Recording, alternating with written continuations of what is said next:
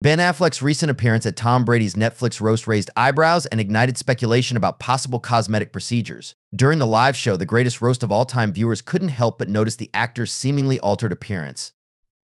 Some online commentators questioned whether Affleck, 51, had undergone surgery, particularly focusing on his smooth face. However, insiders swiftly debunked these rumors, attributing Affleck's refreshed look to Botox and a clean shave rather than surgical enhancements.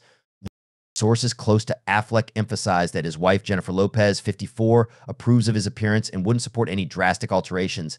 Affleck himself is reportedly confident in his skin and opted for minor enhancements to achieve a tighter look.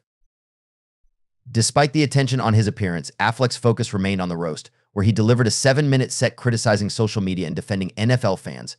While some viewers were distracted by his appearance, Affleck's comedic performance garnered mixed reactions online.